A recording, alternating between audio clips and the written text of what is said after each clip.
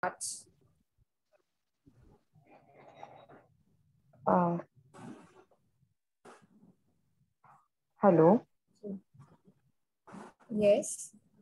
Um, I should talk about it, ma'am. Yes, please. Um, I I don't have any presentation. It's Manager. AirCrews Aviation Private Limited.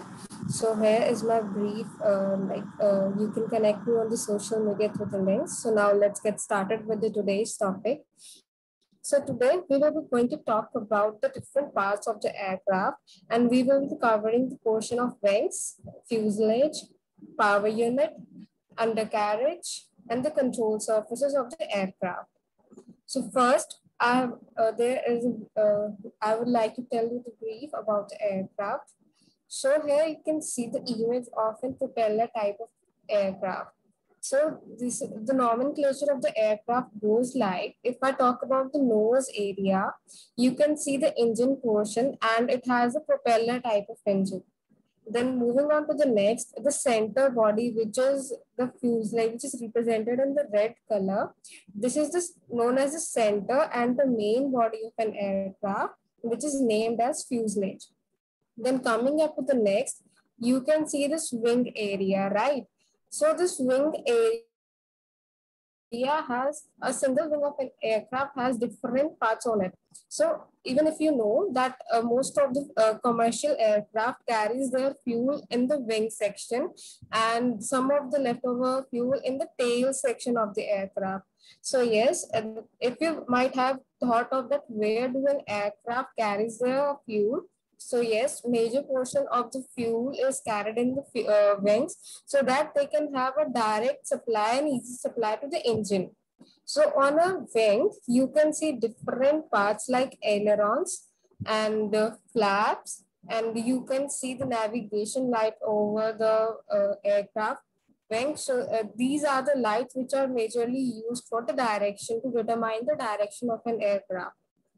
So this was about the nose area. Now coming back to the tail area of an aircraft.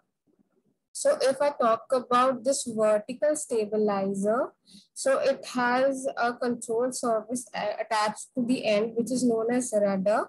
And if I talk about this horizontal area, so this horizontal area, the yellow portion highlighted is the horizontal area and the elevator, that is the control surfaces which is attached to it. And uh, with the elevator, we have trim tabs. So all of this elevator, aileron, rudder, these are the control surfaces of an aircraft, which enables an aircraft to give its directions. And I will be talking about in brief about these control surfaces. Now, proceeding with the wings. So an aircraft can have different type of wing position. So how do we extinguish it with different feature of an aircraft? So we can distinguish an aircraft wing by determining its wing position, by determining its wing shape, and determining the wing number. So first, we will be talking about the wing position. So we have three different wing position. So first is low wing aircraft, second is mid-wing aircraft, and third is high-wing aircraft. So for the examples of low-wing aircraft, you can see in this picture that the uh, wings are attached at the uh, like bottom of the fuselage. Can you see in these pictures? This is the commercial aircraft and you can see the wings are attached just to the end of the fuselage. So this type of aircraft are known as low-wing aircraft then proceeding with the mid wing. So you can see in these pictures, so I have uh, uh, put both the military as well as the training aircraft. So the position of the wings is attached to the middle of the fuselage. So that is how the such aircraft are termed as mid-wing aircraft. Now moving on to the high-wing aircraft. So as you can see in these pictures, the wings are attached at the top of the fuselage, right? You can see in this both of this picture. So if the wings of the aircraft are uh, connected, attached at the top of the fuselage, then such type of aircraft are known as high wing aircraft. Now talking about the shape of the uh, uh, wings. So we have four different type of wing shape that is rectangular, tapered, swept and delta. Talking about the rectangular type of wings, so you can have a clear idea from this picture that how a rectangular wing aircraft uh, looks like. Now moving on to the tapered. So this is how the shape tapered is given to the wing of an aircraft You can see this picture, the tapered shape of the wing. Now talking about the swept type of aircraft. So swept type of aircraft are such aircraft whose wings are swept towards the back. You can see they are aligned to a particular angle. So yes, these are the swept type of aircraft. Now the delta aircraft. So the aircraft having the wings um, in the shape of a triangle so such aircraft are known as delta wing aircraft. So you can see the wings over here. These are triangular shape, right? So such aircraft are known as delta wing aircraft. Now talking about the wing number. So there we can determine by its monoplane, biplane and triplane. So monoplanes are the aircraft who have the single wings and if I talk about the biplanes, so biplanes are the aircraft who have double wings. Can you see the one just below and one above it? So such type of uh, aircraft are termed as biplanes. And if I talk about the triplanes, so such type of aircraft has three wings attached to them. So you can see the three layers of wings, right? So such aircraft are known as triplane. Now, Uh, proceeding towards the fuselage. So as I told you earlier, fuselage is the central body of an aircraft and it is the main carrier. Okay, so what things a fuselage can contain? So it has a cockpit which has all of the flight and navigational instrument controls and windshield. Then it has the passenger cabins they have uh, contains of galleys, toilets, wardrobes, and all of the technical compartment.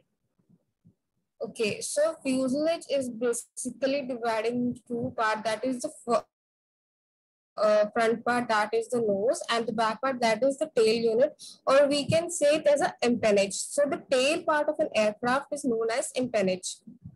So here you can see the picture of the fuselage nose and this. This is the tail portion of an aircraft is known as empennage. Now, proceeding with the power unit. So the main distinguishing features of an aircraft is the engine position, the engine number. So, in, so there can be the different position of an engine on an aircraft. So first we can say on the wings. So uh, if, if in this picture, you can see the engine is connected on the wings, right? And the next picture, uh, which stays, says that on the wing pylon. So this portion, can you see? This is known as the pylons of the aircraft. So this engine is connected with the pyl uh, pylons. So yes, this is how it is known as the uh, wing position is on pylons.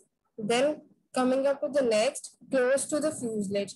So here in this first picture, you can see these are the two engines and this is attached very nearly to the fuselage. So this is the close to the fuselage type of engine position. Then coming up to next rear mounted. So uh, you in this picture, you can see it is a three engine aircraft. So here you can see one is attached on the top and rest on the two other sides. So the engine are the so engines are attached at the tail portion of the aircraft. So that is why these are known as the rear mounted engine position. Now talking about the engine number. So we have different aircraft uh, having uh, like they can have single engine or the aircrafts can have twin engine like two engine uh, aircrafts having triple engine and the aircrafts having four engine so as for now, the maximum engines attached on a commercial plane is six. So six, uh, the aircraft type Antonov 225, which is the world's largest and heaviest planes, contains six engines. So talking about the single engine, so you can determine over here, the propeller is connected. So here the engine is connected to the nose area of an aircraft. Now talking about the twin engine, so engine are connected with the uh, wing area on the either sides. Now talking about the triple engine, so such engines are connected at the tail area or the empennage area of an aircraft. And for the four or the multiple engine, so you can see this four propeller type of engine, which is connected on the wing area of an aircraft. Okay, now we will talk about the undercarriage. That means the landing gears of an aircraft. So there can be three different type of landing gears. So first one is nose wheel.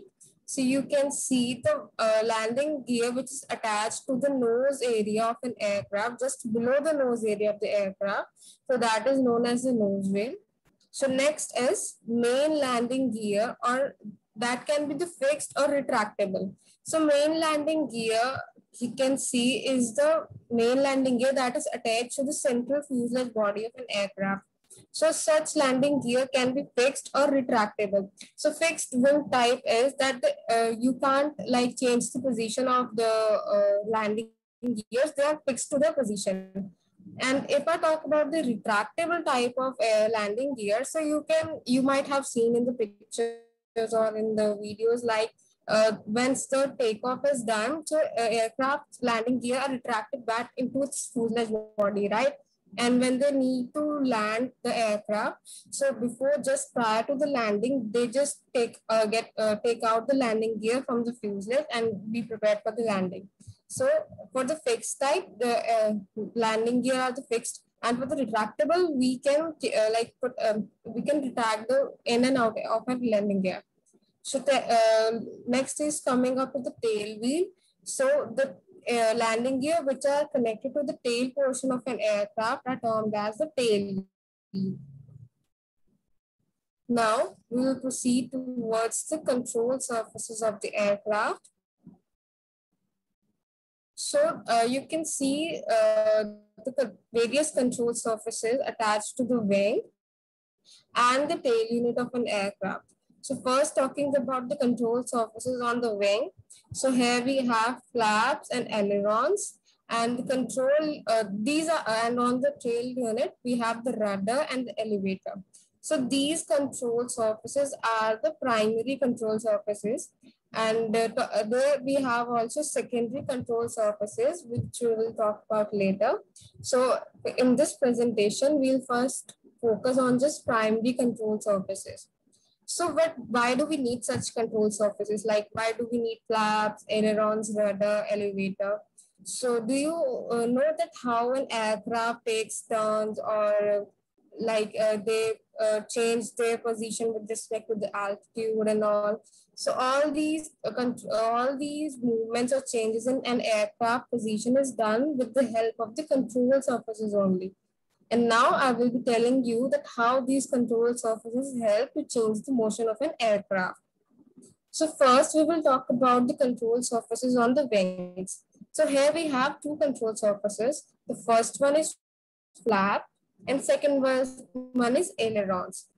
So first we will talk about the flaps. So flaps, these are used for the extended for approach of landing and takeoff to increase the lift of the wings at the low speed. So what does this mean? So flap is a control surface. You can see this in picture. Here you can see uh, the flap is extended, uh, extended, right? So when an aircraft needs to take off or when an aircraft needs to land, they extend their flap to increase the efficiency of an aircraft. Like when they need to take off the aircraft and the flaps are extended, it helps an aircraft to generate maximum lift, right? And if an aircraft has to land, they extend the flap so that they can help to decrease the lift. So yes, flaps are the major responsible for the takeoff as well as the landing of an aircraft. And if in, in between the flight, like you need to uh, change, uh, generate lift more. So yes, flaps are then extended also. Now talking about the next control surface, that is aileron. So aileron, they move in opposite direction to bank, roll the airplane. So here in this picture, you can see this wing area, right? So the area which is uh, colored as in pink, you can see this is known as the aileron portion which is attached on the wing. So uh, you have seen the aircraft like banking towards left and towards right like this you have seen in the pictures like aircraft banks like this and banks like uh, left and right. So how this movement is controlled? So this movement is controlled by the ailerons. So if the one L, uh, this has to work in the opposite direction. Like if one L, uh, the aileron of left side is up, then the aileron of the right side should be down to attain such movement. So this is how the aileron functions and helps an aircraft to bank left or to bank right. So here I have put a small uh, live uh, picture. You can see like this is the picture of aircraft while taking off. And here you can see these flaps clearly, which is, which is being extended to generate maximum lift. So this is how flaps are extended to get maximum lift while takeoff. Now talking about the wing configuration, as on a single wing, we can see different type of control surfaces. So uh, to clarify this, as uh, you get, you have seen this picture, like uh, there are different parts on a single wing, right? So here I have the configuration of the wing. So a single wing of an aircraft consists of uh, flaps, slats, slots, and ailerons.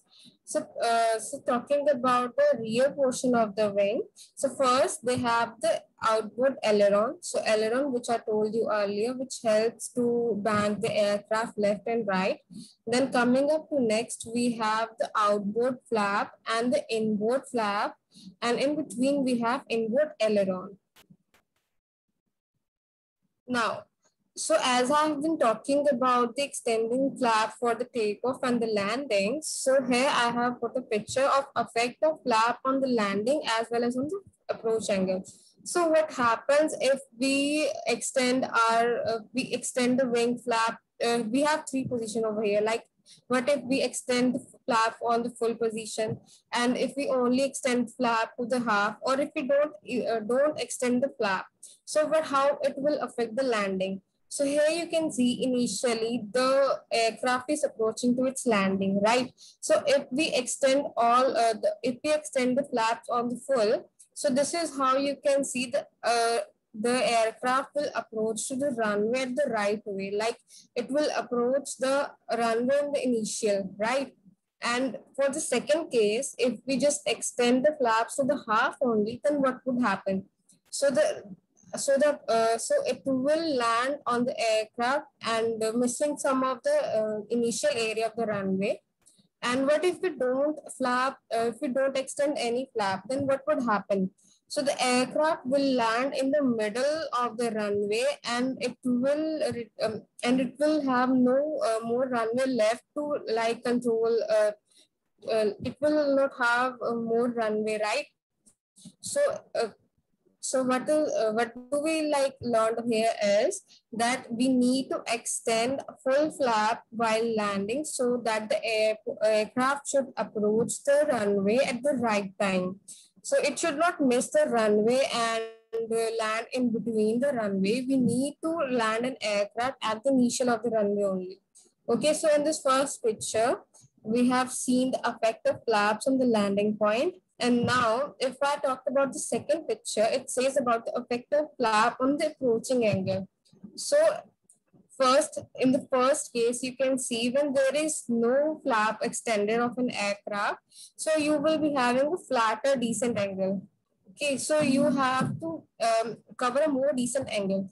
But if you if you have uh, like extended a half of the flap, so there would be a little uh, change of uh, like a descent angle and if you have extended the full flap of an aircraft so you would give us get a steeper descent angle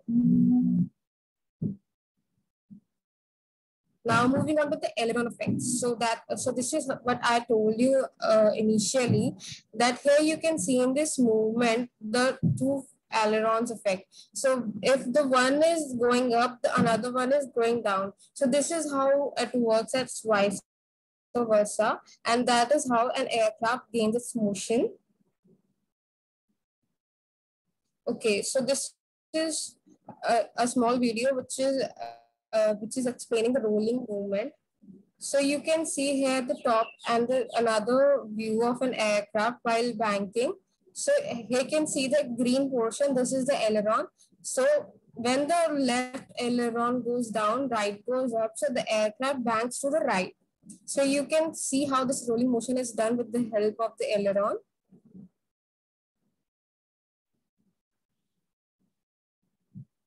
Now that was all about the wing area. Now we will proceed towards the empennage, that is the tail unit. So on tail unit, we have two primary control surfaces. So the one is rudder, which is situated on the vertical stabilizer.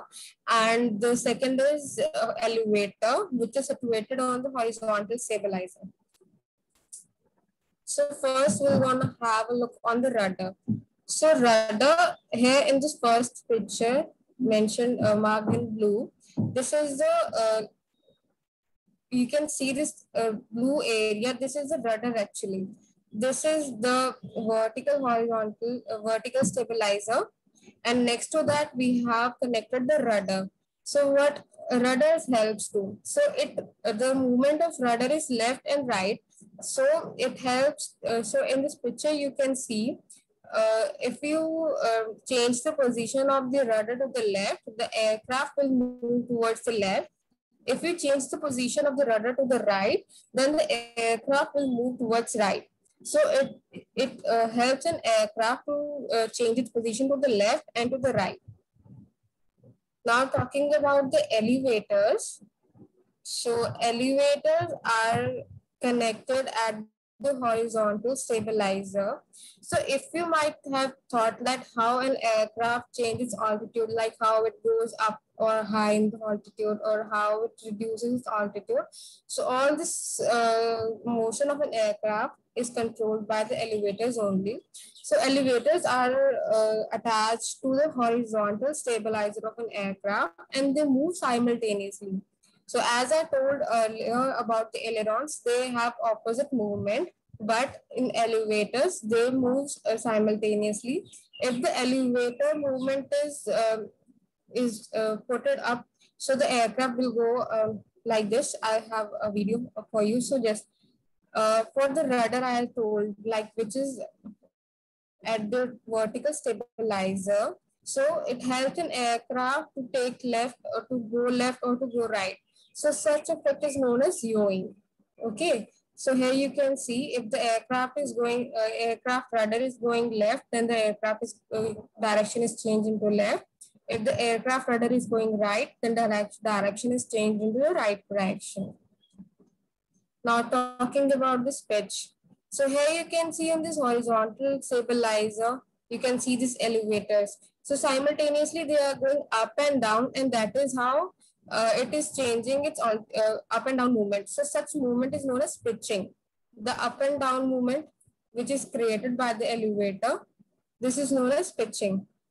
So I hope uh, you might have got a clear idea about the control surfaces.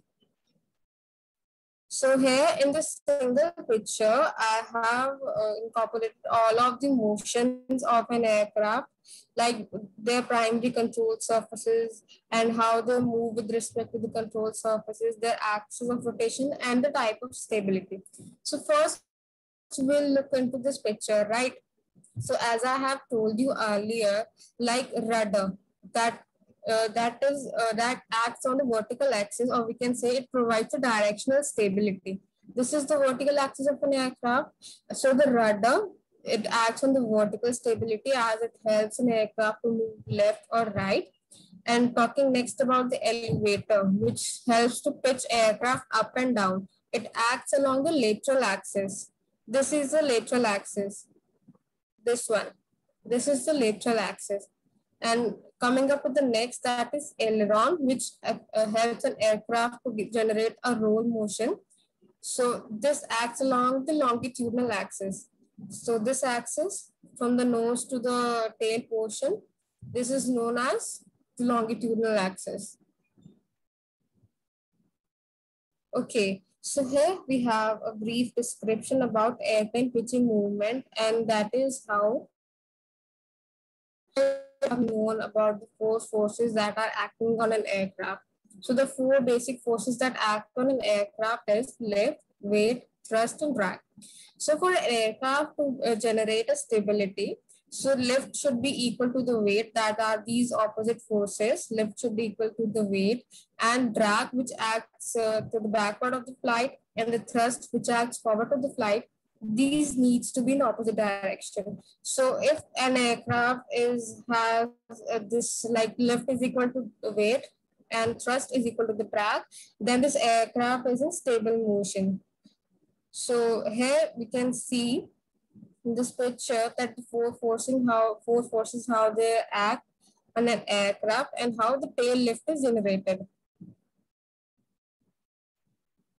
So here I have compiled the all of the uh, aircraft parts and what does the help to do, right? So if I talk about the cockpit area, why cockpit area is used? So cockpit area is used for the command and uh, command and the control surface as all of the instrumentals and technical portion we have in the cockpit, like a uh, pilot handles all of the aircraft in the cockpit only.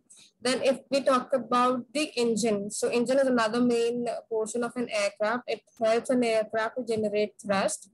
Then if I talk about the wings, why do we have wings on an aircraft? Why do we need wings to fly an aircraft? So we need wings. Wings are really needed to generate lift. Now coming to the fuselage body. So fuselage is the main and the central body of an aircraft, which helps to hold all of the things together. And you can carry as much as payload in this portion only. So that is why fuselage is mainly required for an aircraft body. Then coming up to this next, uh, you can see the slats over here. So slats are connected to the forward end of the uh, wings of an aircraft. So slats are also the primary control surface that, um, so no, slats are the secondary control surface, which helps to change the lift. Now coming up to the next, we talk about spoiler. So have you ever imagined like, you know, uh, like vehicles, we have brakes, right? We have brakes in like vehicle, um, in car, bikes and all these. So how do an aircraft generate brake? So they use spoilers. So spoilers can act as brakes for the aircraft. So what are spoilers used for?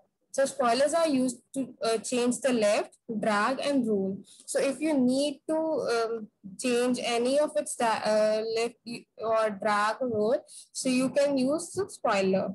Then coming up with the next aileron, which I use to change the uh, roll, uh, which are used to for rolling. Then coming up to the flaps. So flaps is a part primary control surface, which is used to change the lift as well as the drag. So that was all about the nose area and the fuselage. Now com uh, coming up with the empennage, the tail section of an aircraft. So here on the horizontal stabilizer, here you can see the horizontal stabilizer, which we which is used to control the pitching angle. And the elevators are the primary control surfaces attached to the horizontal stabilizer that is used to change the pitch up and down. And talking about the vertical stabilizer, here we have rudder, which is used to change yaw, that is for the left and for the right. Okay, so now I have a video for you. Side, I hope uh, you all have really learned from this session. A lot of new things you might have got to know about it, isn't it? So may I have feedback?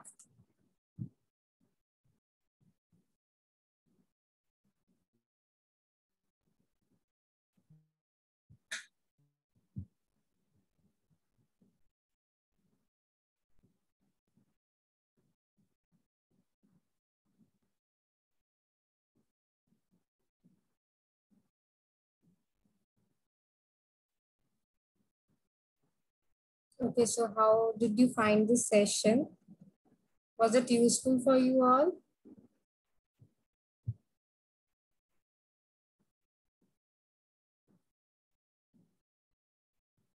Okay, so yesterday I told you some homework, right?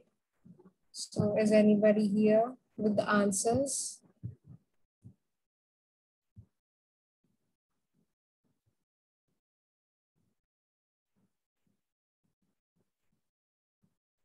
So nobody has done with it.